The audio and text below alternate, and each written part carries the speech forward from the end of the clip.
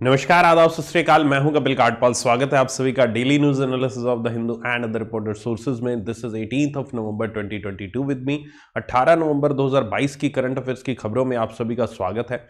उम्मीद करता हूँ आप मुझे अच्छे से फॉलो कर रहे हैं डेली फॉलो कर रहे हैं। बस इसी तरह से करते रहेगा कंटेंट आपके लिए इतना उमदा तरीके का प्रोवाइड करवाया जा रहा है कि आप यहाँ पर अपने करंट अफेयर सेक्शन में आराम से 90 परसेंट तक स्कोर कर सकते हैं। बस आपको रिवीजन बहुत अच्छे से कंटिन्यू रखनी है। आगे बढ़ते हैं। जो भी नया स्टूडेंट जुड़ा है, मेरे टेलीग्राम चैनल से ज़रूर जुड़ जाना। एट द रेट के कार्ड पल सर्च करेंगे, मेरे टेलीग्राम चैनल जहाँ पर आपको मेरी सारी क्लासेस की अपडेट्स एंड पीडीएफ्स मिल जाएँगी। पहली न्यूज़ आज की आई है, और वो आई है आपकी पोसोको पोसोको नाम की एक ऑर्गेनाइजेशन है जो कि पूरा नाम है उसका power system operation corporation limited. So इसको grid controller of India limited अब नाम दे दिया गया है। सो so, इसका नाम बदला गया है नाम तब्दील किया गया है। किसका नाम तब्दील किया गया है? पोसोको का नाम तब्दील किया गया है। और पोसोको क्या है? पोसोको है power system operation corporation limited POSOCO. इसका नाम बदलकर कर दिया गया है grid controller of India limited okay so ये इसका नाम किया गया है हाल ही में। Grid controller of India limited यहाँ पर national load dispatch centre NLDS and पाँच रीजनल लोड डिस्पैच सेंटर्स के अंडर यहाँ पर आपका ऑपरेट इनको ऑपरेट करता है बेसिकली ये एक ऐसी ऑर्गेनाइजेशन है जो कि यहाँ पर पावर सप्लाई को इंश्योर करती है पावर सिस्टम को इंश्योर करती है। तो जस्ट इसमें इतना ही क्वेश्चन है, कुछ ज़्यादा मुश्किल नहीं है। सिंपल सा क्वेश्चन यही बनेगा कि नाम बदलकर क्या रख दिया गया है, या फिर ग्रिड कंट्रोलर ऑफ़ इंडिया का नाम पहले क्या था? या फिर पोसोको का नाम क्या रखा गया है? वाइस वर्षा क्वेश्चन, इस तरह का एक क्वेश्चन इसमें बनेगा। Right, okay. चलिए, अगली न्यूज़ पे चलते हैं। एक जगह है, यहाँ पर आपकी रामबान जो कि यहाँ पर एक ऐसा एक ऐसा ब्रिज था, जो कि सस्पेंशन ब्रिज था। हाल ही में आपको याद होगा, हमने न्यूज़ भी कवर की थी मोरबी ब्रिज के बारे में। वो भी एक तरह का सस्पेंशन ब्रिज था, ठीक है, जो कि यहाँ पर गिर गया था। और उसी तरह पे बहुत सारे यहाँ पर सस्पेंशन ब्रिज पूरे इंडिया में अलग अलग जगहों पर लोकेशंस पर हैं फ़िलहाल। और उन्हीं में से एक सस्पेंशन ब्रिज जो कि रामबान में है यहाँ पर आपका, जम्मू कश्मीर की मैं बात कर रहा हूँ एरिया की। वहाँ पर इस ब्रिज को कुछ टाइम पहले यहाँ पर आपका बंद कर दिया गया था, क्योंकि ये काफ़ी पुराना हो चुका था। अब जाकर इसमें एक नया कंस्ट्रक्टेड नया बनाया गया, वहाँ पर एक झूला Bailey suspension bridge Jammu Kashmir के रामबान में इसने रिप्लेस किया। इससे पहले वाले ब्रिज को, जो कि अनसेफ माना जाता था, और अब इसको यहाँ पर शुरू कर दिया गया है। ठीक है so Bailey suspension bridge over the Chenab river के ऊपर है। ये कनेक्ट करता है आपका रामबान एरिया को ही। पुराना रामबान और नया रामबान जो कि बाकी एरिया मैत्रा रामबान उसको कहते हैं। ओके सो so, ये आपका चनाब रिवर के ऊपर है एक सस्पेंशन ब्रिज नाम है झूला वैली सस्पेंशन ब्रिज। ये आपका दोबारा से इसमें जो ट्रैफ़िक है, उसको दोबारा से स्टार्ट कर दिया। तो एग्ज़ाम पढ़ने से झूला वैली सस्पेंशन ब्रिज कहाँ पर है? जम्मू कश्मीर में है। रामबन जगह नाम याद रखेगा the right answer will be Ramban. Ramban इसका सही उत्तर रहेगा। रामबान इसका सही उत्तर रहेगा। सस्पेंशन ब्रिज कहाँ पर है? जम्मू कश्मीर में। ठीक है? ओके सो झूला बेलिया सस्पेंशन ब्रिज अगली खबर है यहाँ पर आपका। दुनिया का हाईएस्ट पोलिंग स्टेशन अभी हाल ही में हिमाचल प्रदेश में इलेक्शन हुए हैं। उसी दिन एक जगह पर इलेक्शन हुए जो कि दुनिया का सबसे हाईएस्ट पोलिंग स्टेशन है। यानी कि वो दुनिया में सबसे ऊँची जगह पर आ, होने वाला आपका एक पोलिंग स्टेशन और ये जगह जो है वो जगह थी ताशी गैंग ताशी गैंग। और ताशी गैंग ये जो जगह थी जहाँ पर ये पोलिंग स्टेशन था इस पोलिंग स्टेशन पे यहाँ पर आपका 100 परसेंट वोटिंग देखने को मिली। अब एक बार तो हमें देख लिखने को मिलता है कि 100 परसेंट वोटिंग हुई, क्या बात है। लेकिन दूसरी तरफ़ जब आप नीचे आंकड़ों पे नज़र मारेंगे तो यहाँ पर आंकड़ों में क्या कहा गया है? आंकड़ों के अनुसार वहाँ पर केवल बावन वोटर्स ही हैं फिफ्टी वोटर्स हैं, और ये फिफ्टी के फिफ्टी वोटर्स वहाँ पर वोट डालने आए थे। और विच तीस मेल हैं और बाईस फीमेल हैं। ये सारे के सारे बावन वोटर्स जो हैं, वो ताशी गैंग और गेते विलेजेस से हैं। ये दोनों विलेजेस के जो पोलिंग स्टेशन वहाँ पर थे। And Tashigang highest polling station है। कितनी ऊंचाई पर स्थित है? काफ़ी इंपॉर्टेंट चीज़। 15 25 6 one five two five six feet ऊंचाई पर यहाँ पर हिमाचल प्रदेश के लाहौल स्पीति वैली एरिया में यहाँ पर ये स्थित है। दुनिया का सबसे ऊँचा पोलिंग स्टेशन इसको 2019 में इसको यहाँ पर पोलिंग स्टेशन बनाया गया था। तो एग्ज़ाम पॉइंट से क्वेश्चन यहाँ पर दुनिया का सबसे ऊँचा पोलिंग स्टेशन कड़ाके की ठंड में भी लोग वहाँ पर पहुँचे। हिम्मत की बात है, बावन लोगों के लिए यहाँ पर आपकी। और ये है आपकी कहाँ पर है? ताशी गैंग। और इसके साथ कौन सा विलेज है? गेती विलेज। गेती विलेज और ताशी गैंग विलेजेस दोनों के कितने वोटर्स थे? 52 वोटर्स थे। 52 वोटर्स नंबर याद रखना है, ताशी गैंग गेटी। और सबसे इंपॉर्टेंट हाइट इसकी इंपॉर्टेंट है हाइट पूछी जा सकती है 15256 फीट 15256 फीट ये आपसे क्वेश्चन पूछा जा सकता है। और कहाँ पर है ये आपका?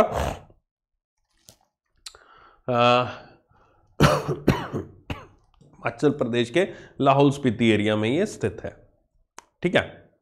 15256 ये एक अच्छा क्वेश्चन मुझे लग रहा है कि ये क्वेश्चन एग्ज़ाम में आने वाला है, ये वाला 15256 वाला, ठीक है?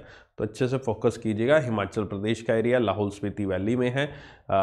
Tashigang and the Gete villages 15256 और 2019 में इसको सबसे पहले पोलिंग स्टेशन बनाया गया था। अगली खबर पे चलते हैं। अगली खबर आई है पर कैप्टा इनकम से। Per capita income rose in real terms by 33.4 percent as per the central government ने यहाँ पर सुप्रीम कोर्ट को एक उनके द्वारा आंसर किया। सुप्रीम कोर्ट ने सेंट्रल गवर्नमेंट से कुछ चीज़ डाटा मांगा और उसी के अनुसार यहाँ पर सेंट्रल गवर्नमेंट ने ये कहा कि जब से यहाँ पर एन लागू किया गया है एन यानी कि जो आपका food security act national food security act जो लागू किया गया है, उस एक्ट को लागू होने के बाद एक पर कैपिटा इनकम जो है वो इंक्रीज हुई है 33.4 परसेंट से। पर कैप्टा इनकम से क्या मतलब है? पर कैपिटा इनकम होती है आपकी, हमारे देश की एक एवरेज इनकम एवरेज इनकम मतलब क्या हुआ? एवरेज इनकम का मतलब हुआ कि फॉर एग्जांपल मैं महीने के पचास हज़ार रुपये कमाता हूँ, आप महीने के पचास हज़ार, चालीस हज़ार कमाते हैं, ठीक है? कोई और पर्सन जो महीने का पाँच हज़ार रुपये कमाता है, कोई पर्सन दस हज़ार रुपये कमा रहा है और कोई पर्सन महीने का पाँच लाख कमा रहा है। तो हमारे पास हम सबका टोटल लगाएँगे। और कितने नंबर ऑफ़ पर्सन से उनको उससे डिवाइड करेंगे तो हमारे पास एक एवरेज इनकम आ जाएगी सेम सिमिलर इसी तरह से हम पूरे इंडिया की जितनी पॉपुलेशन है, उन सबकी इनकम का टोटल लगाएँगे और नंबर जो पॉपुलेशन हमारे देश की, उससे डिवाइड कर देंगे तो हमारे पास एक एवरेज इनकम आ जाएगी, जिसको हम पर कैपिटा इनकम कहते हैं, अगर इकोनॉमिक टर्म्स की बात करो तो मैक्रो लेवल पर तो यही पर कैपिटा इनकम जो है, काफ़ी इंक्रीज हुई है, जब से एनएफएस आया है, ऐसा सेंट्रल गवर्नमेंट ने सुप्रीम कोर्ट को कहा है आपका। यूनियन गवर्नमेंट ने इसके अलावा यह भी कहा दैट दी तकरीबन 4.7 करोड़ राशन कार्ड्स यहाँ पर ऐड किए गए थे लास्ट आठ सालों में अंडर दी एनएफएस से। ये एनएफएस से नेशनल फ़ूड सिक्योरिटी एक्ट आप सब जानते हैं सिंपल सी बात है, जो आपको राशन कार्ड के बेस पर यहाँ पर खाना मिलता है सब्सिडाइज रेट पर, है ना? मिलता है ना राशन कार्ड लेकर जाते हैं सब्सिडाइज रेट पर खाना मिलता है तो वो यही है, वो यही है आपका। वही चीज़ है आपकी एनएफएसए के अंडर ही वो चीज़ आती है आपकी। सो so, ये 4.7 करोड़ राशन कार्ड्स भी डिस्ट्रीब्यूट किए गए हैं। गवर्नमेंट ने नोटिफाई किया नेशनल फ़ूड सिक्योरिटी एक्ट 2013 10 सितंबर 2013 को, जिसका ऑब्जेक्टिव था यहाँ पर food and nutritional security human life cycle approach उनको अफोर्डेबल रेट्स पे अफोर्डेबल प्राइसेस पे उनको खाना मुहैया करवाना, राशन मुहैया करवाना, जो मैंने अभी आपको बताया। इसके अलावा यहाँ पर इसमें यह कहा गया seventy of the rural population को कवर किया जाएगा और fifty of the urban population को यहाँ पर कवर किया जाएगा और उनको सब्सिडाइज्ड रेट्स पर यहाँ पर आपका खाना दिया जाएगा पब्लिक डिस्ट्रीब्यूशन सिस्टम के थ्रू। यहाँ पर राशन शॉप्स के थ्रू जिसको कहा जाता है। तो यहाँ पर सिंपल सा क्वेश्चन है, यहाँ पर यही पूछेंगे कि हाल ही में सुप्रीम कोर्ट को एक प्रेजेंट किए गए डाटा के अनुसार पर कैपिटा इनकम कितने प्रतिशत इंक्रीज हुई after implementation of the N F right answer 33.4 percent रहेगा। एनएफएसए 2013 में लागू किया गया था। और कितने करोड़ राशन कार्ड्स जारी किए गए हैं? 4.7 करोड़ राशन कार्ड्स यहाँ पर जारी किए गए हैं। सो ये दो फिगर्स इसमें याद रखनी है, बाकी कुछ ज़्यादा नहीं है। 33.4 एंड 4.7 करोड़। दैट्स इट ये दो चीज़ें आप याद रख लो, आपका काम बन जाएगा। ठीक है? ओके ओके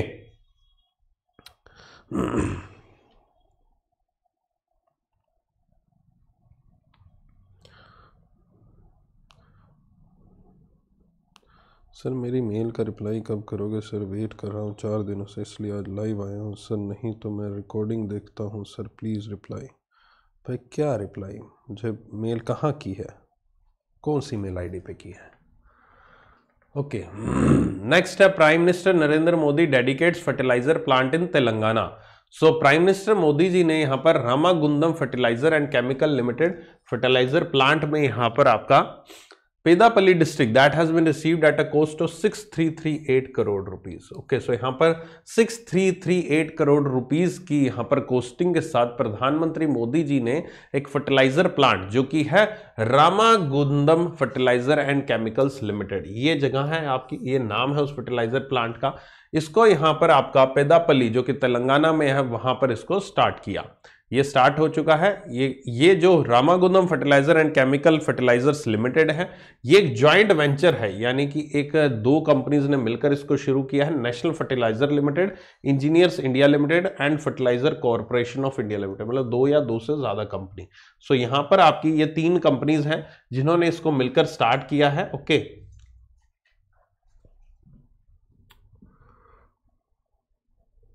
जिन्होंने मिलकर इसको स्टार्ट किया है यहाँ पर आपका, ये है आपका national fertilizers limited engineers India limited and fertilizer corporation of India R F C L RFCL was interested with responsibility of setting up the new ammonia urea plant with an investment of 6300 वही exact 6338 crore rupees है।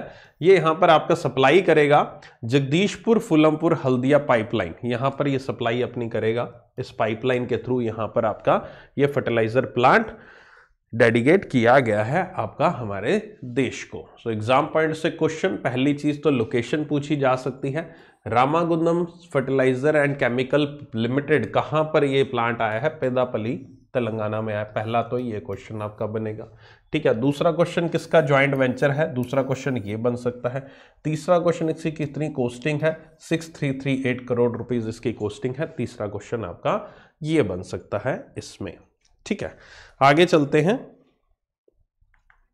Andhra Pradesh celebrate कर रहा है पचपनवा national library week so Andhra Pradesh में यहाँ पर आपका 14 नवंबर say that is children's day के दिन से अब तक यहाँ पर एक हफ़्ते के लिए नेशनल लाइब्रेरी वीक ऑब्ज़र्व किया गया, यानी कि वहाँ पर जितनी भी लाइब्रेरीज हैं आंध्र प्रदेश की वहाँ पर इस वीक को सेलिब्रेट किया जाता है। ठीक है वी लव रीडिंग इनिशिएटिव एक इनिशिएटिव के तहत ये चीज़ की गई।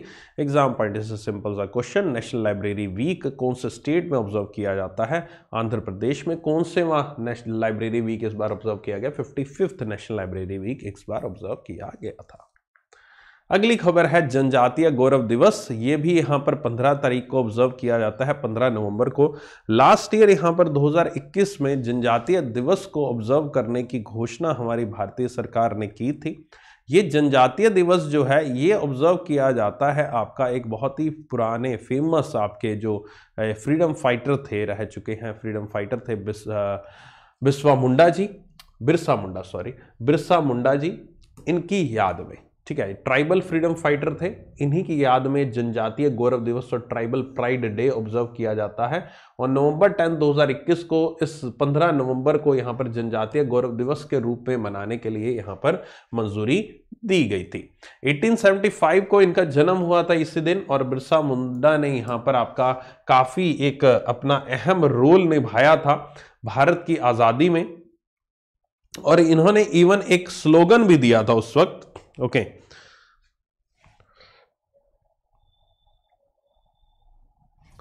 स्लोगन भी दिया था आपका, अबुआ राज एते जना, महारानी राज तुंदू जना. ओके हो सकता है मेरी प्रोनाउंसिएशन अलग हो, क्योंकि ये वहाँ की लोकल भाषा में है। इसका इंग्लिश में मतलब है let the queens kingdom and and our kingdom be establish इनका निधन जो था, वो 25 की उम्र में हो चुका था। जब ये ब्रिटिश कस्टडी में थे रांची की जेल में थे यहाँ पर आपका तब इनका निधन हो गया यहाँ पर। और इनको यहाँ पर भगवान और लोड भगवान बिरसा मुंडा के नाम से जाना जाता था इनको संबोधित किया जाता था भगवान बिरसा मुंडा। ओके आ, इसी मौके पर यहाँ पर एक स्टैच्यू भी यहाँ पर आप ये स्टैच्यू भी देख सकते हैं। स्टैच्यू भी यहाँ पर जो ओल्ड सेंट्रल जेल है रांची की वहाँ पर लोकेट किया गया। 25 फीट ऊँचा ये स्टैचू है, इसी साइड पर यहाँ पर लगाया गया है। सो ये है जनजातीय दिवस। बिरसा मुंडा जी की बर्थ एनिवर्सरी के मौके पर एवरी ईयर ऑब्ज़र्व करने का फैसला यूनियन कैबिनेट के द्वारा लास्ट ईयर किया गया। इस बार भी ऑब्ज़र्व किया गया और इसी मौके पर यहाँ पर इस बार प्रधानमंत्री मोदी जी ने जो रांची की जेल है, उसमें 25 फीट ऊँचा एक स्टैचू जो है, भगवान बिरसा मुंडा जी के यहाँ पर अनवील किया उस चीज़ को। ओके, उस स्टैचू को यहाँ पर प्रेजेंट किया गया है। और बिरसा मुंडा जी के बारे में यहाँ पर बाकी बातें लिखी हुई हैं। कब इनका जन्म हुआ था, कब इनकी मृत्यु हुई थी, कहाँ मृत्यु हुई थी, वगैरह वगैरह। ठीक है, ओके। अगली खबर पे चलते हैं। ये कुछ पिक्टोरियल रिप्रेजेंटेशन के थ्रू वही चीज़ें लिखी हुई हैं। अगली खबर है retail inflation eases to 6.77 percent in October so retail inflation जो है, वो यहाँ पर अब कम हो रही है आपकी, और इस बार ये 6 परसेंट सिक्स परसेंट पे आ चुकी है 7 परसेंट से नीचे हुई अक्टूबर में। यही जो 6.77 परसेंट ये रिटेल इन्फ्लेशन है, जिस, जो कि कंज्यूमर प्राइस इंडेक्स के थ्रू यहाँ पर कैलकुलेशन किया जाता है, और इसी के पीछे यहाँ पर रिज़र्व बैंक ऑफ़ इंडिया पड़ा है, या फिर भारतीय सरकार पड़ी है। भारतीय सरकार कहती है कि रिज़र्व बैंक ऑफ़ इंडिया से अभी हाल ही में उसने एक्सप्लेनेशन मांगी। क्यों मांगी? क्योंकि अभी हाल ही में रिज़र्व बैंक ऑफ़ इंडिया के द्वारा यहाँ पर बहुत सारे मेजर्स लिए गए इन्फ्लेशन को कंट्रोल करने के लिए। मॉनेटरी पॉलिसी कमेटी की मीटिंग्स भी की गई इस इन्फ्लेशन को कंट्रोल करने के लिए। लेकिन लगातार तीन क्वार्टर्स तक, तीन क्वार्टर्स तक यहाँ पर जो इन्फ्लेशन है वो आरबीआई के अपर टॉलरेंस लिमिट यानी कि सिक्स परसेंट से ऊपर यहाँ पर देखने को मिली। तो अगर एमपीसी या आरबी के अनुसार बात करें तो यहाँ पर अगर कोई भी, कभी भी इन्फ्लेशन जो है छः परसेंट से ऊपर लगातार तीन क्वार्टर में रहती है तो रिज़र्व बैंक ऑफ़ इंडिया को आपको एक्सप्लेनेशन देनी पड़ती है सेंट्रल गवर्नमेंट को कि आखिरकार क्या रहा, क्यों ऐसा हो रहा है और क्यों आप इस इन्फ्लेशन को काबू नहीं कर पा रहे हो। तो हाल ही में मॉनेटरी पॉलिसी कमेटी की एक एमरजेंसी मीटिंग भी हुई थी और उसी एमरजेंसी मीटिंग के दौरान यहाँ पर आपका ये कुछ बातें जो है एक्सप्लेनेशन यहाँ पर भेजी गई सेंट्रल गवर्नमेंट को। नमूमन ये मॉनेटरी पॉलिसी कमेटी जो है वो एवरी टू मंथ्स बाद होती है लेकिन इस बार बीच में ही इस मॉनेटरी पॉलिसी कमेटी को किया जाना किया गया। सो so, इस बार जो नया डाटा है पिछली बार के 7.41 परसेंट के हिसाब से इस बार 6.77 परसेंट रही है और ये दसवीं कंजिक्यूटिव टाइम है तो सीपीआई जो है वो यहाँ पर 6 परसेंट से ऊपर रहा है, जो आरबीआई टोलरेंस लिमिट है, दो से छः परसेंट के बीच में है। अगर आपने मॉनेटरी पॉलिसी के लेक्चर मेरे देखे हैं तो डेफिनेटली आप इस दो से छः परसेंट को रपल tolerance limit lower tolerance limit और मैं क्या बातें कर रहा हूँ, उसको आप ज़्यादा बेहतर तरीके से समझ पा रहे होंगे। फ़ूड इन्फ्लेशन यहाँ पर आपका 7.01 परसेंट है as against 8.60 percent in preceding month अगर मैं फ़ूड इन्फ्लेशन यानी खाने की बात करूँ, केवल खाने की जो चीज़ें हैं, वो अगर उनकी महँगाई की बात करूँ तो वो महँगाई आपका ओवरऑल ज़्यादा है in comparison to the overall महँगाई से। ठीक है? ओके चलिए, आगे चलते हैं हम। Wholesale price index inflation in October is is to 8.39 percent so यहाँ पर होलसेल प्राइस इंडेक्स यहाँ पर आपका 8.39 परसेंट यहाँ पर हुई है। अभी हमने सीपीआई की बात की थी, अब हम होलसेल प्राइस की बात कर रहे हैं। यानी कि ऐसे प्राइसेस जो कि होलसेलर जो है रिटेलर से चार्ज करते हैं, या फिर फैक्ट्री जो है जो मैन्युफैक्चरर जो है, वो यहाँ पर होलसेलर से चार्ज करते हैं। तो उस प्राइस को अगर मैं कैलकुलेट करूँ तो उस प्राइस के अकॉर्डिंग जो है इन्फ्लेशन है, वो eight point three nine percent हुई है और ये पहली बार हुआ है पिछले काफ़ी टाइम से कि इन्फ्लेशन जो है डबल डिजिट से नीचे आई, यानी कि दस परसेंट से नीचे पहले ten point seven zero percent थी सेप्टेम्बर में और ये यहाँ पर लोवेस्ट है सिंस मार्च 2021 पिछले 18 महीनों में पहली बार ये डबल डिजिट से नीचे आई है। अप्रैल 2021 के बाद यहाँ पर आपका अप्रैल से ये डबल डिजिट में थी। अगर मैं डब्ल्यू की भी एक बात करूँ तो उसमें मैन्युफैक्चर्ड प्रोडक्ट्स आते हैं primary article fuel and power इतना इतना परसेंटेज है इनका कंपोनेंट्स का। ये इस टाइप के प्रोडक्ट्स है। ठीक है? Okay wholesale price index 8.39 percent so ये डाटा याद रखना है 8.39 परसेंट आपका। ठीक है? होलसेल प्राइस इंडेक्स अगली खबर पे चलते हैं। India's industrial output jumps 3.1 percent in September so यहाँ पर इंडियाज इंडस्ट्रियल आउटपुट यहाँ पर आपका 3.1 परसेंट सेप्टेम्बर में यहाँ पर हुआ। इंडस्ट्रियल आउटपुट का मतलब है यानी कि मैन्युफैक्चरिंग की। मैन्युफैक्चरिंग ग्रोथ कितना देखने को मिला है यहाँ पर आपका? और मैन्युफैक्चरिंग ग्रोथ में यहाँ पर 3.1 परसेंट का इजाफा देखने को मिला है आपका 3.1 परसेंट का। ये यहाँ पर आपका 0.8 परसेंट कॉन्ट्रेक्शन हुआ था मतलब पिछली बार ये गिरावट आई थी देखने को मिली थी और उससे पहले यहाँ पर सितंबर 2021 यानी पिछले साल की बात करूँ तो 4.4 परसेंट ये यहाँ पर ग्रोथ थी। लेकिन इस बार जो ग्रोथ है वो 3.1 परसेंट है और ये डाटा सेप्टेंबर का है। ध्यान रखिएगा डाटा सेप्टेंबर का है। इससे पहले जो हमने डाटा की बात करी, ये दोनों डाटा अक्टूबर के थे। और ये डाटा आपका सितंबर का डाटा है। और पिछले साल सितंबर में 4.4 परसेंट इंक्रीज हुआ था, इस बार ये 3.1 परसेंट इंक्रीज हुआ और उससे पहले ये पिछले महीने में 0.85 परसेंट से कॉन्ट्रैक्ट हुआ था, यानी कि डाउन हुई थी। ये data ministry of statistics and programme implementation ने यहाँ पर आपका दिया है। And the country's industrial production during April, September 2022 jumped 7 percent compared with 23.8 percent यहाँ पर आपका ईयर एगो सो ये आपका डाटा जो है, ये अप्रैल से सितंबर का है। यानी कि अप्रैल को और सितंबर के बीच में ग्रोथ की बात करूँ तो इस बार केवल सात परसेंट ही मैन्युफैक्चरिंग ग्रोथ देखने को मिली है, जबकि पिछले साल इसी पीरियड के दौरान ये मैन्युफैक्चरिंग ग्रोथ 23.8 परसेंट थी आपकी। ठीक है? ओके चलिए। उम्मीद करता हूँ ये चीज़ समझ में आ गई होगी 3.1 परसेंट और ये वाला फिगर सात परसेंट वाला। ये दोनों इंपॉर्टेंट है, ये दोनों फिगर बाकी जो फिगर्स हैं, वो प्रीवियस फिगर्स हैं, पिछले साल के फिगर्स हैं या फिर पिछले मंथ के फिगर हैं। ठीक है?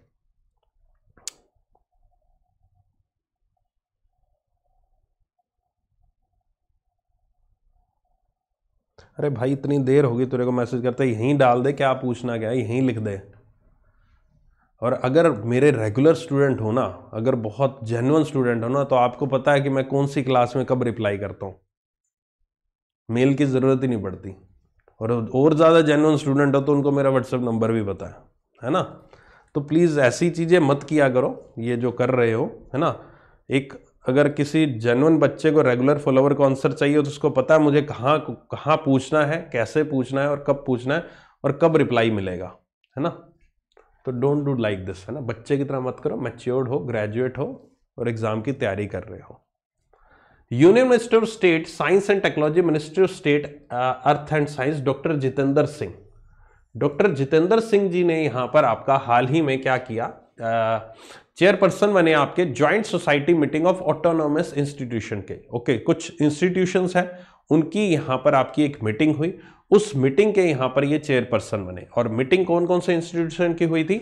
I I T Indian national centre for ocean information service national centre for earth size studies national centre for polar and ocean research national institute of ocean technology ये सारे के सारे यहाँ पर आपके इंस्टीट्यूशन थे। जिन इंस्टीट्यूशंस की यहाँ पर एक मीटिंग हुई, एक ज्वाइंट मीटिंग हुई थी यहाँ पर आपकी। एंड डॉक्टर जितेंद्र सिंह जी के द्वारा first ever joint society meeting of autonomous institution of ministry of earth science ठीक है? सो ये आपकी ज्वाइंट मीटिंग की, इन इंस्टीट्यूशंस की जितेंद्र सिंह जी ने। बस इसमें इतना ही है। एक और पेज है इसमें, कुछ उसमें भी इंपॉर्टेंट चीज़ कही गई है, वो थोड़ी सी इंपॉर्टेंट है। इस मीटिंग के दौरान एक चर्चा हुई, और वो चर्चा हुई किसकी? वो चर्चा हुई थी मत्स्य छः हज़ार की। मत्स्य सिक्स थाउज़ेंड की चर्चा हुई यहाँ पर, और इस चर्चा में यहाँ पर क्या कहा गया? आखिरकार ये मत्स्य क्या छः हज़ार क्या है? या फिर ये डीप ओशियन मिशन क्या है? ये सारा का सारा यहाँ पर लिखा हुआ है, इसके बारे में आपको बताता हूँ।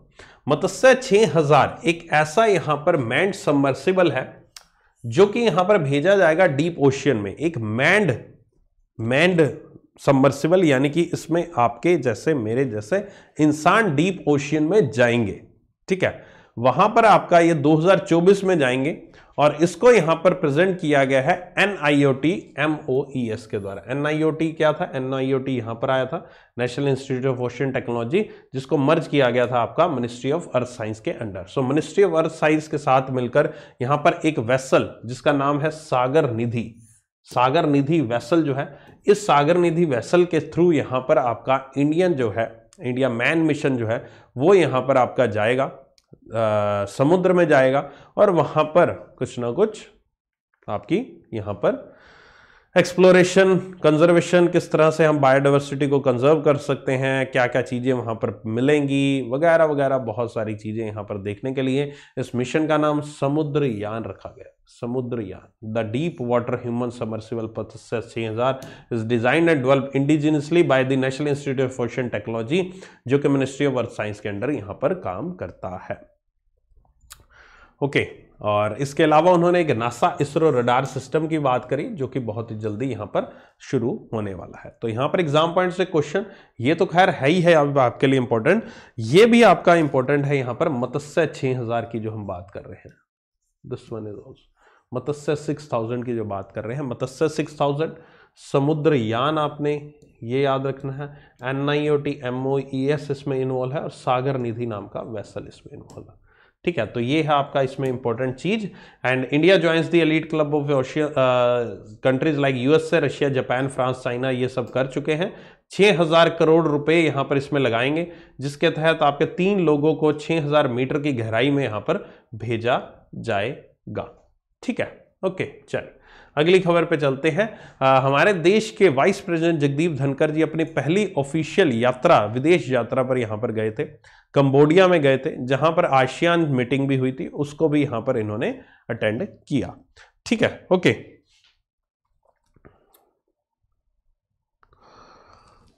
राम सेतु मूवी में भी ऐसी टेक्नोलॉजी दिखाई गई है।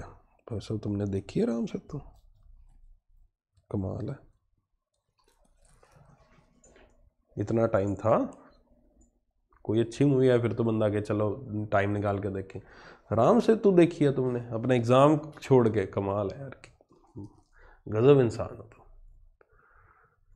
So vice president of India Jagdeep Dhankhar ji visited Cambodia on the first ever foreign visit during this visit he attended the nineteenth ASEAN meeting जो हुई थी। आशियन सम्मिट वहाँ पर उन्होंने अटेंड की और सेवनटींथ ईस्ट एशिया सम्मिट ये दो सम्मिट यहाँ पर इन्होंने अटेंड की है यहाँ पर। And this the ASEAN summit seventieth anniversary India और कंबोडिया के बीच में जो आपका एक डिप्लोमेटिक रिलेशनशिप एस्टेब्लिश हुआ था कि पहली बार जब यहाँ पर एग्रीमेंट हुआ था किसी भी तरह का कंबोडिया के साथ तो सत्तर साल पहले हुआ था तो सत्तर साल हो चुके हैं इस को एस्टेब्लिश हुए। Temples in Cambodia such as Angkor Wat in Siem Reap Ta Prohm and the Preah Vihear ये सारे के सारे यहाँ पर कंबोडिया और इंडिया के बीच में कल्चर टाई को कल्चर टाइज को दिखाते हैं। ये वहाँ पर हिंदू टेम्पल्स हैं वहाँ पर आपके कंबोडिया में। द ईयर 2022 को आशियन इंडिया फ्रेंडशिप ईयर के नाम से भी डेजिग्नेट किया गया है, क्योंकि 30 साल हो चुके हैं इनकी पार्टनरशिप को इंडिया की आपकी आशियन के साथ। तो ये भी यहाँ पर आपका प्रेजेंट किया गया है India ASEAN summit India ASEAN friendship year के फॉर्म में। तो यहाँ पर एग्ज़ाम पॉइंट से आप क्वेश्चन इस पेज में से अभी ये, इसमें और भी चीज़ें बाकी हैं तीन चार पेज हैं। एक बार एक एक करके पेज पढ़ लेते हैं। पहला क्वेश्चन यहाँ पर है, कहाँ पर गए हैं? कंबोडिया की यात्रा पर गए हैं। आशियन समिट इस बार कहाँ हो रही है? कंबोडिया में हो रही है। ईस्ट एशिया समिट कहाँ पर हो रही है? कंबोडिया में। यहाँ पर दोनों मीटिंग्स अटेंड करने हमारे देश के वाइस प्रेसिडेंट वहाँ पर पहुँचे। ठीक है? और इसमें यहाँ पर India, ASEAN India friendship year कौन से ईयर को ऑब्ज़र्व किया जाता है? 2022 को ऑब्ज़र्व किया जाता है। ये भी आपसे क्वेश्चन पूछ सकते हैं। इंडिया और कंबोडिया के बीच में कितने साल हो चुके हैं? यहाँ पर डिप्लोमेटिक रिलेशनशिप एस्टेब्लिश हुए। 70 ईयर्स हो चुके हैं 70 साल हो चुके हैं राइट आगे चलते हैं। वाइस प्रेसिडेंट ने यहाँ पर अपग्रेड किया Indian council for culture relation scholarship को 30 से 50 सो so, पहले 30 स्कॉलरशिप दी जाती थी अब 50 स्कॉलरशिप दी जाएँगी। And India technical and economic cooperation programme के तहत यहाँ पर जो कंबोडिया के लोगों के लिए था उसमें अब 200 सीट्स की बजाय 250 सीट्स कर दी गई हैं। ठीक है? इसके अलावा इंडिया ने कंट्रीब्यूट किया पाँच million dollar to the ASEAN India science and tech fund के लिए। इस फंड के लिए इंडिया ने पाँच मिलियन यूएस डॉलर दिया। इसके अलावा उन्होंने पाँच मिलियन जो यूएस डॉलर इस फंड के लिए दिया है to strengthen cooperation in public health, renewable energy, smart agriculture. अच्छा ये दोनों चीज़ें वहीं सेम ही हैं। तो इस फ़ील्ड के लिए यहाँ पर पाँच मिलियन डॉलर दिया। इसके अलावा first ever ASEAN India startup festival 2022 भी यहाँ पर आपका इसी तीसरी एनिवर्सरी के मौके पर यहाँ पर आयोजित किया गया। इस फेस्टिवल में यहाँ पर कंडक्ट किया गया ASEAN committee on science technology and innovation in partnership with the Indian department of science and technology Indonesia national research and innovation agency and IIT Kanpur startup incubation and the innovation centre so इनके द्वारा इसको यहाँ पर किया गया है। इन इन के द्वारा इतना इंपॉर्टेंट नहीं है तो इसको आप रह, छोड़ भी सकते हो। इसके अलावा इसी मौके पर एक पिच डेक कंपटीशन यहाँ पर स्टार्टअप्स के लिए किया गया नाम था पिच बैटल प्राइस था पिछहत्तर सौ dollar seventy five hundred dollar इसका प्राइस था। तो यहाँ पर आपका एग्ज़ाम पढ़ने से क्या क्वेश्चन है? इस पेज पर, यहाँ पर, इस पेज पर, यहाँ पर है कि Indian council for culture relation की स्कॉलरशिप कितने से कितनी कर दी गई है? 30 से यहाँ पर 50 कर दी गई है। और इसके अलावा slots Indian technical and economic cooperation programme के स्लॉट्स जो हैं, पहले 200 थे, अब कितने कर दिए गए? 250 कर दिए गए हैं।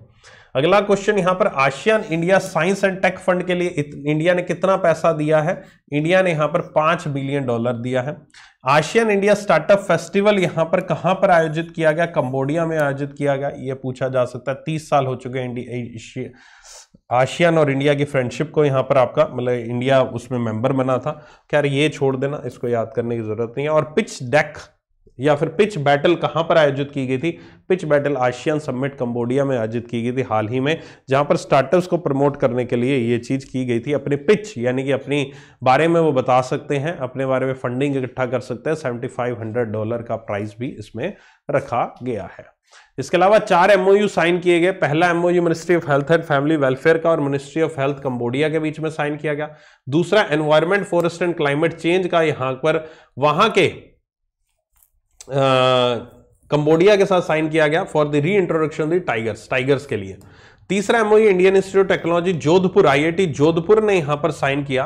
And that was with the Cambodia and the institute of technology Cambodia के साथ for the application of technology for digital documentation of culture heritage इस पर्पज से साइन किया गया। चौथा एमओयू यहाँ पर साइन किया गया है आपका preservation of the Wat Raja Bo pagoda paintings in Siem Reap Cambodia तो ये चार एमओयू यहाँ पर साइन किए गए हैं इन चारों के बीच में।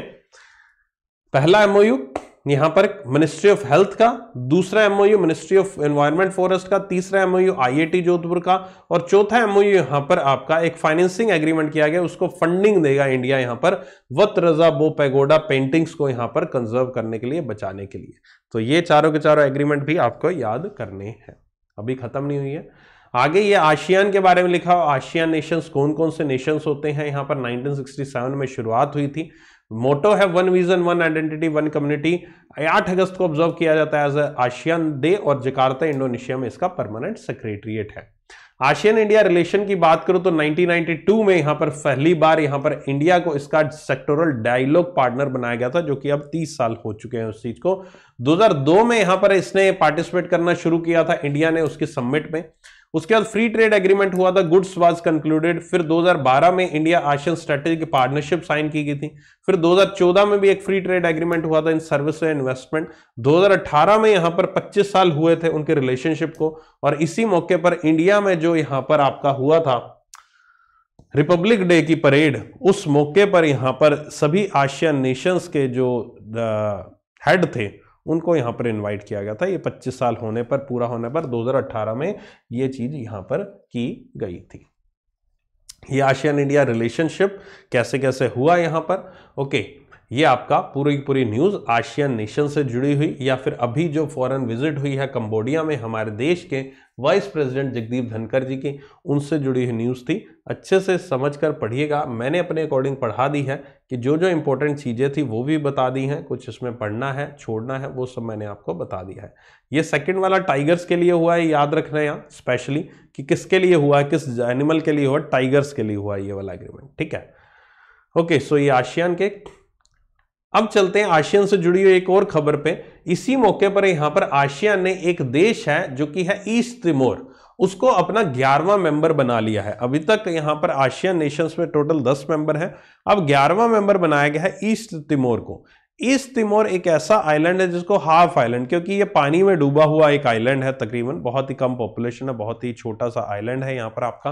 और अगर आपको मैप दिख रहा होगा तो आप इसकी लोकेशन कुछ इस तरह समझ सकते हैं कि ऑस्ट्रेलिया से थोड़ा सा ऊपर और इंडोनेशिया के थोड़ा सा साइड में। सो ऑस्ट्रेलिया से ऊपर ये ऑस्ट्रेलिया है, और ये यहाँ पर पूरा पूरा इंडोनेशिया द्वीप है। क्योंकि क्योंकि इंडोनेशिया आपका काफ़ी छोटे छोटे द्वीपों में फैला है तो उसी में ही एक जगह पे एक छोटा द्वीप है that is the east Timor ये ईस्ट तिमोर जो नेशन है, ये आप देख सकते हैं तिमोर ईस्ट तिमोर ये इंडोनेशिया बॉर्डर के साथ ही यहाँ पर लगता है। और इवन यही हुआ था इनके साथ, ये एक पोर्तुगीज कॉलोनी थी, और पोर्तुगीज ने इनको यहाँ पर अपने यहाँ से आज़ाद कर दिया, और जैसे ही आज़ाद किया इंडोनेशिया ने इस एरिया को कैप्चर कर लिया। और इंडोनेशिया ने जब कैप्चर किया, उसके बाद इन्होंने यहाँ पर काफ़ी विद्रोह किया, वहाँ पर रेफरेंडम भी हुआ और रेफरेंडम होने के बाद इन्होंने अपने आप को एक अलग से देश घोषित किया, अलग से देश इन्होंने अपनी आज़ादी घोषित की और इवन यूनाइटेड नेशन ने भी इनको एक अलग देश मान लिया। तो फाइनली यहाँ पर अब ईस्ट तिमोर जो है, जो कि इस एरिया में है यहाँ पर आपका और, इसको यहाँ पर ग्यारहवा मेंबर बनाया गया है आशियान नेशंस का। ये इस तिमोर की कुछ हिस्ट्री लिखी है। 1975 में पोर्तुगीज कॉलोनी थी यहाँ पर आपकी। और उसके बाद 1976 में इंडोनेशिया ने कैप्चर किया था। 1999 में यहाँ पर इसने अपने आप को डिक्लेयर किया एक आज़ाद नेशन तो 2002 में यूनाइटेड नेशन ने इसको एशिया की यंगेस्ट डेमोक्रेसी डिक्लेयर किया। और ग्यारहवा मेंबर ये मैंने आपको बता दिया तिमोर लिस्टे भी इसको कहा जाता है will be granted observer status observer status रहेगा परमानेंट मेंबर नहीं मतलब कि आएगा मीटिंग में ऑब्ज़र्व करेगा, किसी तरह के डिसीज़न में पार्टिसिपेट नहीं करेगा ऑब्जर्वर का मतलब ये होता है। ये आपका 1999 के वक्त, उसके बाद यहाँ पर ये पहला मेंबर है 1999 में लास्ट मेंबर जो ऐड किया गया था, वो कंबोडिया था, जहाँ पर फ़िलहाल ये मीटिंग चल रही थी। दस आशियन मेंबर्स जो हैं, वो उनके नाम यहाँ पर लिखे हैं और आठ डायलॉग पार्टनर्स जो लिखे हैं, वो ये रहे। इंडिया इसका परमानेंट मेंबर नहीं है इंडिया जस्ट एक डायलॉग पार्टनर है या फिर ऑब्जर्वर नेशन आप कह सकते हो। ओके नथिंग राइट ओके तो ये आपकी पूरी पूरी आशियन नेशन ने आशियन ग्रुप ने यहाँ पर शामिल कर लिया है किसको? That is the east Timor Timor Leste को उसके ग्यारहवा मेंबर के रूप में। अगली खबर, इंडिया और फिनलैंड के बीच में यहाँ पर एग्रीमेंट हुआ है to enhance cooperation in digital partnership और डिजिटल पार्टनरशिप को बढ़ावा देने के लिए दोनों देशों के बीच में, इंडिया और फिनलैंड के बीच में एक एग्रीमेंट साइन किया गया है। तो एग्ज़ाम पॉइंट से सिंपल सा क्वेश्चन यही आएगा कि डिजिटल प्लेटफॉर्म को डिजिटल प्रोडक्शन को डिजिटल कॉपरेशन को पार्टनरशिप को बढ़ावा देने के लिए इंडिया ने कौन से देश के साथ एक एग्रीमेंट साइन किया? Right answer will be the Finland Finland के साथ साइन किया। फिनलैंड फिनलैंड के साथ क्यों किया? फिनलैंड में ऐसा क्या है? आपको याद होगा, अगर पता होगा तो नोकिया कंपनी जिसके अब फ़ोन खैर विलुप्त हो चुके हैं, है ना? तो वो नोकिया कंपनी की जो मेन मैन्युफैक्चरिंग है, वो इसी देश से होती है, यहीं से आपकी, आपका जो नोकिया है, वो ओरिजिनेट हुआ है। अगला है Britain France deal to stop illegal migration so आप इंग्लिश चैनल के बारे में ज़रूर जानते होंगे, जो कि यहाँ पर ब्रिटेन और फ्रांस को कनेक्ट करता है। ये एक ये जगह है, ये वाली आपका बीच वाला। इसको हम इंग्लिश चैनल कहते हैं। ये आपका फ्रांस है और इधर आपका इंग्लैंड है। तो इन दोनों के बीच में जो जगह है, उसको इंग्लिश चैनल यानी पानी का रास्ता जो है तो इस पानी के रास्ते को क्रॉस करते हुए यहाँ पर बहुत सारे लोग छोटी छोटी नावों के सहारे से यहाँ पर एक दूसरे देश में माइग्रेट होते हैं, एक दूसरे देश में जाते हैं। और ये होती है इलीगल माइग्रेशन आप बिना किसी परमिशन के, बिना किसी पासपोर्ट वीज़ा वगैरह के आप यहाँ पर नहीं जा सकते इस तरह से। लेकिन यहाँ पर यह चीज़ जा, होती है और इसी चीज़ को कम करने के लिए, इसी चीज़ को रोकने के लिए ब्रिटेन और फ्रांस के बीच में एक एग्रीमेंट साइन किया गया है और उन्होंने इसके लिए 74.5 बिलियन यूएस डॉलर यहाँ पर देने का फैसला किया है। इन्वेस्टमेंट करेंगे इस इलीगल माइग्रेशन को रोकने के लिए। तो इलीगल माइग्रेशन को रोकने के लिए सेवेंटी मिलियन डॉलर क्यों देना? क्योंकि इलीगल माइग्रेशन की वजह से जो वो लोग वहाँ पर पहुँचते हैं, उनको पकड़ना, वो खाना खाते हैं, वगैरह वगैरह, कुछ भी चीज़ें जो भी की जाती हैं वहाँ पर उनके द्वारा तो उस पर इवन इससे ज़्यादा कहीं खर्चा आ जाता है। तो इसलिए 74.5 मिलियन डॉलर देकर ये आप इलीगल माइग्रेशन को आपका कम करेंगे। दोनों के दोनों देशों ने इस चीज़ का फैसला किया है, जो इस इंग्लिश चैनल को यहाँ पर आपका क्रॉस कर लेते हैं छोटी बोट्स के सहारे और पहुँच जाते हैं दूसरे देशों में। और तकरीबन 2022 में चालीस हज़ार लोग यहाँ पर आपके एक जगह से दूसरी जगह पहुँचे थे। अगर आपको एक मूवी याद होगी, और वो मूवी का नाम मुझे खैर याद नहीं आ रहा, लेकिन मुझे हीरो याद है उस मूवी का। हीरो था आपके, जो आपके विक्की कौशल है, उनका भाई। उनका भाई उस मूवी में था, उस मूवी गाने अच्छे चले थे। उस मूवी में इंग्लिश चैनल को एक रिप्रेजेंट किया गया कि वो हीरो हीरोइन से मिलने के लिए इंग्लिश चैनल को पार करने की कोशिश करता है, और इंग्लिश चैनल के थ्रू स्विम करता हुआ वहाँ पर जाता है। मूवी में ऐसा दिखाया गया है। ओके, लेकिन वो नाकामयाब होता है और वो फिर वापस उसको ले आया जाता है, डिपोर्ट किया जाता है, फिर प्लेन के थ्रू जाता है, एंड ऑल काफ़ी अलग सी स्टोरी थी वो। ओके सो, जस्ट आपको बताने के लिए अगर आपने वो मूवी देखी होगी तो उसमें वही इंग्लिश चैनल को क्रॉस करते हुए हीरो को भी दिखाया गया है। ठीक है? हाँ शिद्दत नाम था उस मूवी का। क्या बात है? बड़ी मूवीज़ देखते हो? वो भी रोमांटिक, है? याद आती होगी? किसकी याद आई शिद्दत देखकर तुम्हें? Coastal defence exercise sea vigil 2022 यहाँ पर तीसरा एडिशन कंडक्ट किया गया pan India so sea vigil exercise basically एक ऐसी एक्सरसाइज है जो कि इंडिया की कोस्ट लाइन को प्रोटेक्ट करने के लिए यहाँ पर की जाती है। ये कोई एक्सरसाइज ऐसी नहीं है कि हम किसी देश के साथ कर रहे हैं। ये सी विजिल एक्सरसाइज जो है, वो हम कंडक्ट करते हैं आपकी कोस्टल लाइन को। कोस्टल लाइन को देखते हुए उस कोस्टल लाइन को प्रोटेक्ट करने लिए किस तरह से हम काम कर रहे हैं, किस तरह से हमारी नेवी काम कर रही है, किस तरह से हमारे जो कोस्ट गार्ड हैं वो काम कर रहे हैं। इन सभी चीज़ों को एक तैयारी, पूरी की पूरी तैयारी करने के लिए सी विजल नाम की एक्सरसाइज कंडक्ट की जाती है। ये एक्सरसाइज पूरी की पूरी seven five one six kilometre की जो हमारी कोस्ट लाइन है, उसमें यहाँ पर कंडक्ट की जाती है and will involve all the coastal states union territory सभी के सभी इसमें यहाँ पर यूनियन टेरिटरी कोस्टल स्टेट्स सारे के सारे आपके देखने को मिलते हैं। और इसमें theatre level readiness operational exercise भी यहाँ पर आपका शामिल है। ये theatre level readiness operational exercise भी यहाँ पर आपकी होती है।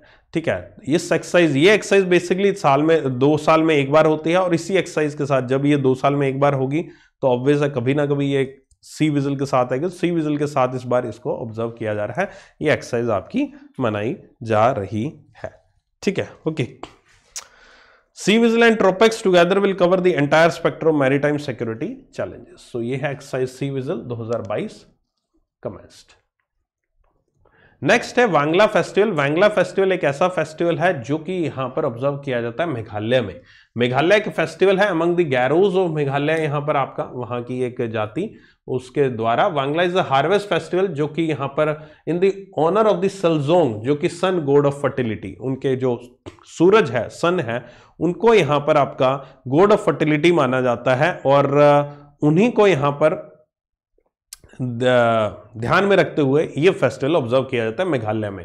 So, Wangala festival also denotes the onset of the winter मतलब विंटर्स आ चुकी हैं। हंड्रेड ड्रम फेस्टिवल भी इसको कहते हैं and the occasion when the tribal offer sacrifices to please their main deity Saljong the sun god सूरज भगवान को सलजोंग कहते हैं वहाँ पर और सूरज को। है ना, सन को यहाँ पर आपका सलजोंग कहा जाता है, भगवान की तरह उनको पूजा जाता है और ये है आपका वांगला फेस्टिवल मेघालय का, जिसको हम हंड्रेड ड्रम फेस्टिवल भी कहते हैं। क्या कहते हैं? Hundred drum festival, Wangala festival. अगली खबर यहाँ पर एक आती हुई इंटरनेशनल गीता महोत्सव। गया गला एक सेंटर को ग्रीस डाल लूँ।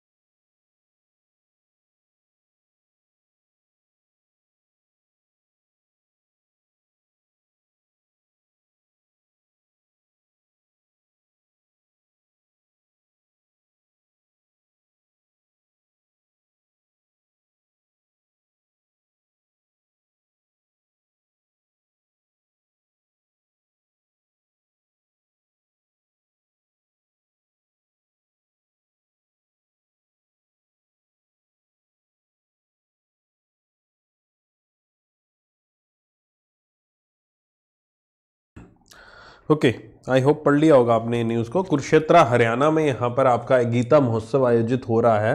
ओके और 6 दिसंबर तक ये आपका चलेगा। ओके कुरुक्षेत्र, हरियाणा में और हरियाणा में छह म्यूज़ियम भी इस्टेब्लिश किए जाएँगे यही कुरुक्षेत्र में। एट द कोस्ट ऑफ़ ढाई करोड़। जहाँ पर आपका महाभारत एंड द गीता के एपिसोड्स को यहाँ पर डिस्प्ले किया जाएगा। और इसके अलावा 21 स्पेशल स्टोन स्कल्पचर्स मूर्तियाँ भी यहाँ पर आपकी पूरे देश से लाई गई हैं, जो कि यहाँ पर महाभारत और गीता के थीम पर आधारित है। ओके, सो चलिए, अगले पे चलते हैं। रिपोर्ट आती हुई है, और रिपोर्ट आई है इंडिया के टॉप ब्रांड से संबंधित। और ये टॉप ब्रांड से संबंधित जो रिपोर्ट आई है, इस रिपोर्ट को यहाँ पर दिया गया है टीआरए के द्वारा। यहाँ पर data was unveiled by the brand intelligence and data insight company TRA so TRA जिसको यहाँ पर ट्रस्ट रिसर्च एडवाइजरी के फॉर्म में जाना जाता है India's most desirable brands 2022 okay India's most desirable brands 2022 ranked companies according to their brand strength okay इसमें अब क्या है? इसमें यहाँ पर अलग अलग कैटेगरीज हैं। काफ़ी लंबी न्यूज़ है। तो ये अच्छे से समझनी पड़ेगी आपको। समझनी तो क्या मतलब कि इजी न्यूज़ है, लेकिन याद करने में थोड़ा मुश्किल आएगी। टेलीकॉम कैटेगरी में रिलायंस जियो ने टॉप किया है। उसके बाद यहाँ पर अपेरल कैटेगरी में एडिडास ने टॉप किया है। ऑटोमोबाइल की लिस्ट में बीएमडब्ल्यू ने टॉप किया है। बैंकिंग एंड फाइनेंशियल सर्विसेज़ के फ़ील्ड में यहाँ पर एल ने टॉप किया है। एसबीआई दूसरे स्थान पर रहा है, ठीक है? ये तो याद कर लेना इंपॉर्टेंट है ये वाला। एक, दो, तीन सारे के सारे। कंज्यूमर अप्लायंसेज में कैंट ने टॉप किया है। कंज्यूमर इलेक्ट्रॉनिक्स में एलजी ने आईटीसी टॉप किया है। आपका कोलोग्राम list followed by the Tata and Reliance Hindustan Petroleum Limited ने एनर्जी के लिस्ट में अमूल ने यहाँ पर फ़ूड एंड बेवरेजेस में फोग ने यहाँ पर एफएमसीजी ब्रांड में फिलिप्स ने यहाँ पर फास्ट मूविंग इलेक्ट्रॉनिक गुड्स में एंड इंटरनेट ब्रांड लिस्ट में अमेजोन ने टॉप किया है। ठीक है? ओके तो ये यहाँ पर पूरी की पूरी लिस्ट अब इसमें याद तो कुछ करवा नहीं सकता, याद तो आप ही को करना पड़ेगा। कैसे करेंगे? अब आपके ऊपर है। ठीक है? Telecom category Reliance Jio apparel category Adidas वगैरह वगैरह। यहाँ पर आपके सामने देखने को मिला।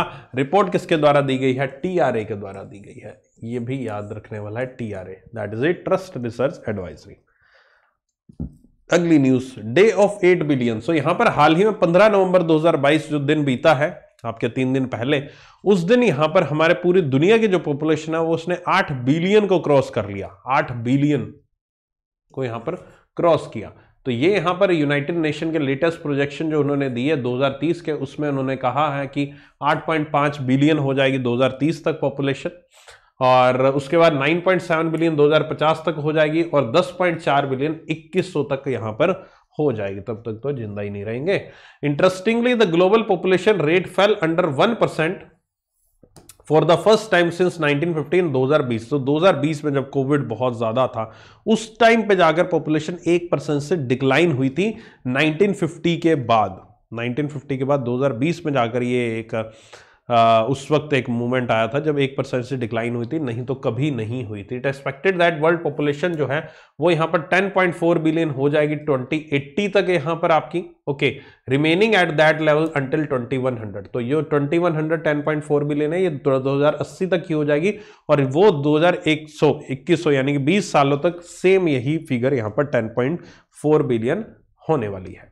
इसके अलावा इंडिया की पॉपुलेशन चाइना को पीछे छोड़ देगी। यहाँ पर अभी अगले साल, इस साल छोड़ने वाली है, कभी भी हो सकता है एक कारनामा। So India most populous country बन जाएगा। In 2021 the average fertility of world population was 2.3 birth per women यानी कि एक महिला 2.3 बच्चों को यहाँ पर जन्म देती है। पूरे पूरे अपने लाइफ टाइम में 2.3 बच्चे। अब ये मतलब दो बच्चा और पॉइंट तीन बच्चा, सर मतलब ऐसे कैसे होगा? मतलब एक एवरेज निकाल ली गई है, ठीक है? Number of significantly lower than the average of five birth per women यानी कि 1950 में यही जो था, वो पाँच बर्थ होते थे यहाँ पर एवरेज देखे जाए फर्टिलिटी रेट के हिसाब से, और अब वो संख्या 2.3 हो चुकी है। According to World Bank India fertility rate जो है वो ग्लोबल एवरेज से भी कम है, जो कि 2.1 बर्थ पर वुमेन आपका आज की डेट में यहाँ पर देखने को मिलता है। और ये 2050 तक ये 2.3 जो है 2.1 हो जाएगा। ऐसा इस रिपोर्ट के अनुसार कहा गया है। तो ये है डे ऑफ़ 8 बिलियन। आप 15 नवंबर डेट याद रख लेना किस दिन 8 बिलियन हुई थी? 15 नवंबर को हुई थी आपकी 8 बिलियन पॉपुलेशन। अच्छी न्यूज़ है। अकॉर्डिंग टू मी, बढ़िया न्यूज़ है। क्वेश्चन आ सकता है और डेफिनेटली इस न्यूज़ में से क्वेश्चन आएगा। ओके, स्टेटमेंट बेस्ड क्वेश्चन आएगा इस न्यूज़ में से। ओके बाकी ये डेट मुझे अच्छी लग रही है। डेट एग्जामिनर पूछ सकता है। पंद्रह नवंबर 2022 ठीक है? ओके चल। आगे चलते हैं Google 1000 language AI model so आप गूगल पे कुछ भी सर्च करते हैं लैंग्वेज के थ्रू अपनी भाषा में बोलते हैं तो यहाँ पर गूगल काम कर रहा है एक हज़ार लैंग्वेजेस पे। एक हज़ार आर्टिफिशियल इंटेलिजेंस मॉडल के ऊपर यहाँ पर, जिसके तहत यहाँ पर तकरीबन हज़ार जो सबसे ज़्यादा बोले जाने वाली भाषाएँ हैं, उसमें आप गूगल पे कुछ भी सर्च कर सकें। So A I language model aims to minimise the dependence on human labour for field such as translation customer service और कंपटीशन मीन्स आप जब ट्रांसलेट करते हैं चीज़ों को, है ना, वो ज़रूरत ना पड़े। आप जस्ट सीधा सीधा आप वहाँ पर जाइए गूगल पे और हर एक लैंग्वेज जो है वो वहाँ पर आप लोगों को अवेलेबल रह जाए। आप उसको ईजिली ट्रांसलेट हो सके। तकरीबन हज़ार लैंग्वेज में कुछ भी लिखते हैं या फिर बोलते हैं that is the thousand languages पे कहाँ पर काम कर रहा है, कौन काम कर रहा है गूगल काम कर रहा है। एग्ज़ाम में यही क्वेश्चन है थाउज़ेंड लैंग्वेजेस पे कौन काम कर रहा है आर्टिफिशियल इंटेलिजेंस टेक्नोलॉजी पे Google is working on that ठीक है? नावी टेक्नोलॉजी ने हाल ही में एम एस धोनी को उनका ब्रांड एम्बेसडर चुन लिया है, बनाया है उनके पर्सनल लोन होम लोन वगैरह वगैरह प्रोडक्ट के लिए। और कंपनी ने लॉन्च किया पहला digital advertisement with the cricketer on the Hotstar Hotstar पे यहाँ पर पहला डिजिटल एडवर्टीजमेंट यहाँ पर नावी टेक्नोलॉजी के द्वारा एम एस धोनी को उनका ब्रांड एम्बेसडर बनाया गया है। ओके okay, महेंद्र सिंह धोनी ने हाल ही में जो जो चीज़ें like the Droni camera book भी आई थी उनके नाम से ये उनके बारे में रिसेंट न्यूज़ अगली न्यूज़ क्या बात? सो फोसल इंडिया ने साइन किया है अनुष्का शर्मा को brand ambassador the Mike Michael Kors Michael के मिशाल पता नहीं भाई। ये लड़कियों को प्रोनाउंसिएशन इसकी आती होगी, मुझे तो नहीं आती। सो माइकल कोर्स ही, मैं तो माइकल ही बोलूँगा, हो सकता है मिशैल हो। और कोर्स तो नहीं होगा को कोच होगा कोच या कोरस है।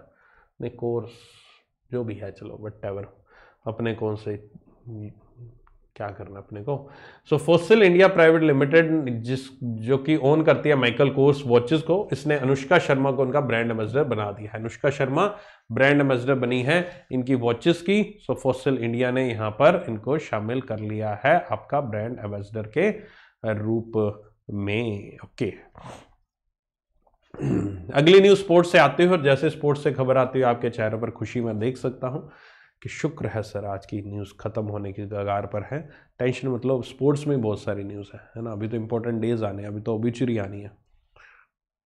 उसके अलावा नहीं बस इतना ही आना है ठीक है? ओके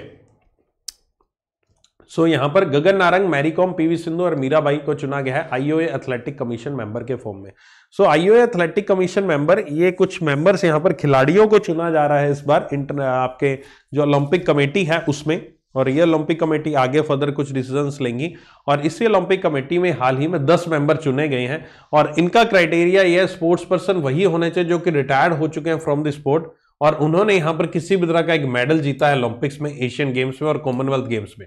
सो रिटायर हो चुके हैं, या तो वो, या फिर उन्होंने किसी भी तरह का मेडल जीता है वो लोग। इनको यहाँ पर इस पर्टिकुलरली कमीशन मेंबर के फॉर्म में यहाँ पर शामिल किया गया है। और जिसमें फ़िलहाल गगन नारंग मैरीकॉम पीवी सिंधु मीराभाई चानू और इसके अलावा शरद कमल, शिवा केशवन, रानी रामपाल, भवानी देवी, बजरंग लाल ओम प्रकाश सिंह करहाना, ये भी यहाँ पर बाकी मेंबर्स के रूप में देखने को मिले। तो टोटल टेन मेंबर्स यहाँ पर आए और दस दस दस के दस नाम आपके सामने यहाँ पर लिखे हुए हैं। ओके सो इसके अलावा अभिनव बिंद्रा, जो कि पहले इंडिविजुअल ओलंपिक गोल्ड मेडलिस्ट है इंडिया के और इंडियन हॉकी टीम के कैप्टन सरदार सिंह। इन दोनों को भी यहाँ पर इस पूरे के पूरे मेंबर में शामिल किया, जिसके तहत वो टोटल 12 मेंबर की कमेटी है, जिसमें 10 यहाँ पर है और दो ये आपके टोटल 12 मेंबर 12 के 12 मेंबर के नाम उम्मीद करता हूँ कि आपको याद करने में दिक्कत नहीं होगी। और इस पूरी की पूरी लिस्ट में एक यूनिक बात, एक यूनिक बंदे का नाम है, और वो है इकलौता खिलाड़ी जो कि विंटर ओलंपिक्स से है, और वो है शिवा केशवन। तो ये नाम थोड़ा सा हाईलाइट करके अच्छे से पढ़ लीजिएगा। कि एग्जामिनर यहाँ पर फोकस ना मार दे, कहे कि वो कौन से विंटर ओलंपिक्स हैं जिनका नाम इस लिस्ट में शामिल है? तो उसका नाम है शिवा केशवन जी है इकलौते विंटर ओलंपियंस ठीक है? तो यहाँ पर बाकी चीज़ें याद करने के चक्कर में कहीं ये मत भूल जाइएगा कि Shiva Keshavan is the most important fact in this news ठीक है? अगली खबर पर चलते हैं। ICC match T twenty World Cup हाल ही में समाप्त हुआ, जिसमें इंडिया सेमीफाइनल में हार गया था। अभी इंग्लैंड से है ना, बहुत बुरी तरह शिकस्त मिली। उसी के ऊपर चर्चा करते हैं यहाँ पर पूरी की पूरी T ICC T twenty World Cup की। ICC T twenty World Cup इस बार ऑस्ट्रेलिया में हुआ और ऑस्ट्रेलिया का में यहाँ पर जो फाइनल मैच है, वो खेला गया इंग्लैंड और पाकिस्तान के बीच में।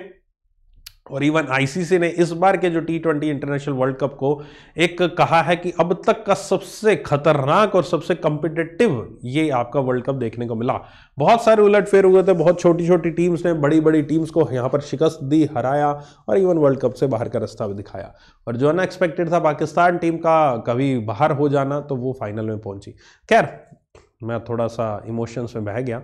क्योंकि क्रिकेटर के फ़ैन हैं तो इस तरह की बातें ऐसे ही हमारे मुँह से निकल जाती हैं कभी कभी चलते चलते खैर, मुद्दे पे आते हैं हमारी करंट अफेयर्स की क्लास पे, और वो करंट अफेयर्स की क्लास ये कहती है कि फ़िलहाल इंग्लैंड ने फाइनल मैच जो कि मेलबोर्न में हुआ था, ऑस्ट्रेलिया में, वहाँ पर हराया पाकिस्तान को। इस मैच में यहाँ पर इंग्लैंड के प्लेयर जिनका नाम है यहाँ पर आपका सैम क्यूरन उनको प्लेयर ऑफ़ द मैच मिला और even player of the tournament भी सैम क्यूरन ही रहे थे।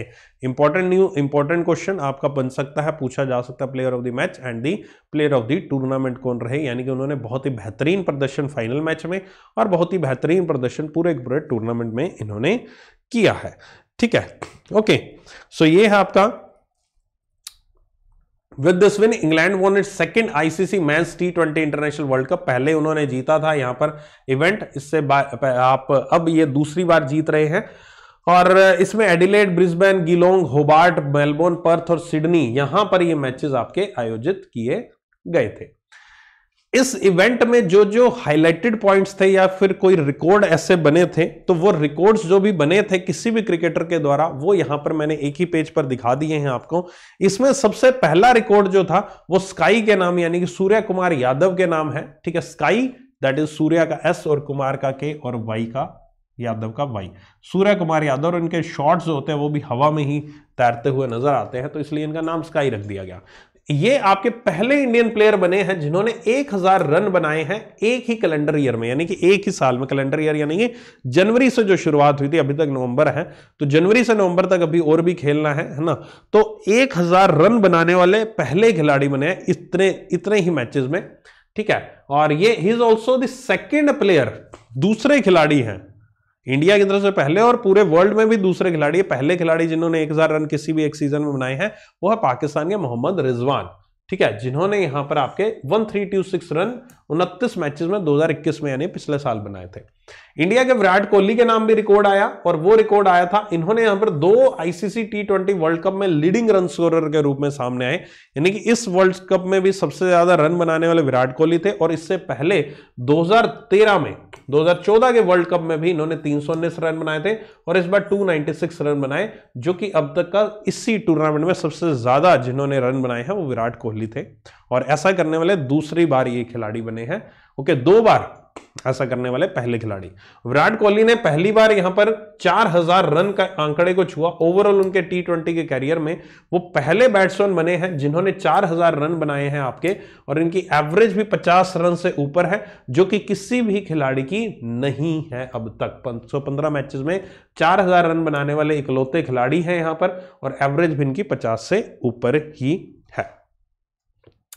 पाकिस्तान के ओपनिंग बैट्समैन जो हैं, बाबर आज़म और मोहम्मद रिजवान ने भी एक यहाँ पर रिकॉर्ड बनाया। और यह रिकॉर्ड था, इन्होंने यहाँ पर एक हंड्रेड रन की जो पार्टनरशिप है, उसको अंजाम दिया।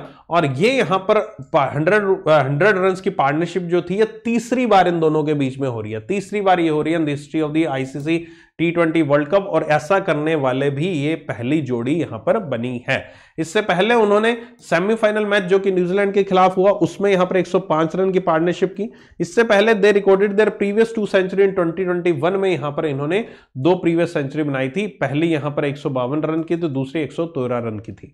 इसके अलावा सिकंदर राजा जिम्बावे के ये खिलाड़ी जो है ये खिलाड़ी काफ़ी फ़ेमस हुए थे इस टूर्नामेंट में, क्योंकि ये पहले प्लेयर बने in the history of T twenty cricket जिन्होंने 500 प्लस रन भी बनाए हैं और 25 विकेट भी इनके नाम है एक ही कैलेंडर ईयर में। फिर से कैलेंडर ईयर की बात करो ऑलराउंडर है कि इस साल इनके नाम 25 विकेट्स भी हैं और टोटल इन्होंने 500 से भी ज़्यादा रन इस कैलेंडर ईयर में बनाए हैं। ये जिम्बावे के खिलाड़ी हैं, नाम है इनका सिकंदर राजा। ठीक है, ओके, सिकंदर राजा इनका, आपका नाम है ऑलराउंडर सिकंदर राजा। ओके तो आई होप ये न्यूज़ आपको पूरी पूरी क्लियर होगी होगी कि क्या क्या रिकॉर्ड बने हैं और किस किस ने क्या क्या टूर्नामेंट में क्या क्या जीता, कैसे कैसे हुआ। अगली खबर इसी से जुड़ी हुई है टी ट्वेंटी वर्ल्ड कप से। टी ट्वेंटी वर्ल्ड कप जो अभी हुआ, जिसकी मैंने अभी बात की, इस टूर्नामेंट के बाद एक टीम यहाँ पर अनाउंस की गई कि ओवरऑल एक अगर टीम बनाई जाए सभी सभी दुनिया के खिलाड़ियों की इस टी के प्रदर्शन के अनुसार तो वो खिलाड़ी कौन से रहेंगे? उस खिलाड़ियों में यहाँ पर इंडिया के विराट कोहली को जगह दी गई है। जॉस बटलर को कैप्टन और विकेट कीपर जो कि इंग्लैंड के हैं, उनको बनाया गया है। इसमें सिकंदर राजा का नाम भी देख सकते हैं आप, आपका। राइट, और पाकिस्तान के शद्दाब खान का नाम है, और पाकिस्तान के शाहीन शाह अफरीदी का नाम भी है, और हार्दिक पांड्या को ट्वेल्थ मैन के रूप में दर्जा दिया गया है। ठीक है, इस टीम को बनाने का फैसला जो किया था, वो इन पैनल मेंबर्स के द्वारा किया गया था। कुछ कमेंटेटर्स भी हैं, कुछ क्रिकेटर्स हैं, पुराने आपके रिटायर्ड क्रिकेटर्स हैं हॉल ऑफ़ फेम भी अभी हाल ही में जैसे शिव चंद्र शिव नारायण चंद्र पोल को दिया गया था, है ना जर्नलिस्ट भी हैं। तो ये सारे के सारे आपके प्लेयर्स इनको यहाँ पर हाल ही में इसमें नाम दिया गया। सूर्य कुमार यादव भी इसमें है। Surya Kumar Yadav? Have name the most valuable team of the ICC T twenty world cup जो सूर्य कुमार यादव अच्छा ये रहा, वही मैंने कहा हाईलाइट नहीं किया हुआ। ये भी है। ये दोनों यहाँ पर इंडिया के खिलाड़ी, तीसरे और चौथे नंबर के। ठीक है ओके तो ये आपकी most valuable team of the T twenty world cup इसमें इंडिया के खिलाड़ी का नाम याद रख लीजिएगा। ठीक है दैट्स इट बाकी ये याद होंगे तो कर लेना, नहीं याद होते तो छोड़ देना। मतलब जो क्रिकेट के शौकीन हैं, उनको याद हो जाएँगे, उनको दिक्कत नहीं आएगी याद करने में, उनको वैसे अब तक शायद याद ही हो गए होंगे, है ना? लेकिन जिनको नहीं याद होते तो इंडियन प्लेयर्स का नाम याद रख लेना और कैप्टन कौन बने हैं, बस इतना नाम याद रख लेना दैट्स इट ठीक है ओके चलो बाकी चीज़ें आप खुद पढ़ लेना बाकी न्यूज़ जो भी है under 19 T twenty world cup मेरी अगली क्लास है उसको मैं शुरू करता हूँ नहीं तो लेट हो जाऊँगा। एक बॉक्सिंग चैंपियनशिप हुई है मर्सिडीज के जॉर्ज रसल ने ब्राजीलियन ग्रैंड प्रिक्स हाल ही में है जीती है आपकी। केनियन रन, रनर रेंजू जी को पाँच साल के डोपिंग बैन की सजा दी गई। नेशनल स्पोर्ट्स अवार्ड आए हैं। ठीक है नेशनल स्पोर्ट्स अवार्ड आए हैं। अब ये याद होते हैं तो ठीक है नहीं तो एटलीस्ट अर्जुना अवार्ड छोड़ सकते हो बट ये वाला ये वाला है ना लाइफ टाइम कैटेगरी में छोटे छोटे चार पाँच हैं, ये तो याद कर ही लोगे। गुरु नानक देव यूनिवर्सिटी है ना? अर्जुन अवार्ड्स 25 दिए गए नंबर याद रख लेना 25 दिए गए हैं। ठीक है? इतना याद तो कर सकते हो। बाकी याद कर लेना। चार चार तीन तीन चार चार ही हैं। ये सबसे इंपॉर्टेंट है। और ये क्यों, कैसे दिया जाता है, इसके बारे में यहाँ लिखा हुआ है। कि ये मेजर ध्यानचंद खेल रत्न क्यों दिया जाता है, ये क्यों दिया जाता है, ये क्यों दिया जाता है, ये सारा का सारा मैंने यहाँ पर मेंशन किया हुआ है। तेलुगु फ़िल्म सुपरस्टार कृष्णा गुरु, जो कि महेश बाबूजी के पिताजी हैं, ओके, इनका हाल ही में निधन हो गया। और Mehran Karimi Nasseri Paris airport पे 18 साल से रह रहे हैं, इनका निधन हो गया। इसके बारे में थोड़ी मैं स्टोरी बताता, अगर समय होता तो है ना? लेकिन अब समय है नहीं तो खुद ही देख लेना इसकी स्टोरी खैर, लिखी हुई है, समझ में आ जाएगी। और नहीं समझ में आती तो कोई भी यूट्यूब पर टाइप करना, आपको कोई ना कोई स्टोरी समझा देगा। इसकी बात काफ़ी इंटरेस्टिंग स्टोरी है इनके बारे में। और इनका अभी पेरिस एयरपोर्ट पर जो अठारह साल से रह रहे हैं, उनका वहीं का यह रही निधन हो चुका और मूवी भी आ चुकी है, एक टर्मिनल नाम की। ये एक्टर ने परफॉर्म किया था। इंटरनेशनल डे फॉर टॉलरेंस 16 नवंबर को नेशनल प्रेस डे 16 नवंबर को नेशनल न्यू बॉर्न वीक 15 से 21 नवंबर को ऑब्ज़र्व किया जाता है। अगर आप अन अकेडमी प्लस सब्सक्रिप्शन लेने की सोच रहे हो तो तीन महीने का सब्सक्रिप्शन आप ले सकते हैं। आपके S B A PO prelims mains की तैयारी और S B A clerk mains की तैयारी के लिए आप आइए ज्वाइन कीजिए। थर्टी सिक्स हंड्रेड रुपीज़ में आपको थ्री मंथ्स का अकेडमी सब्सक्रिप्शन मिल रहा है। मेरे कोर्सेज के साथ बाकी सारे टीचर्स के भी आप कोर्सेज वहाँ पर देख सकते हैं।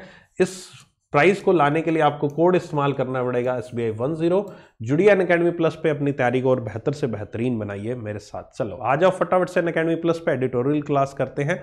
Take care bye see you.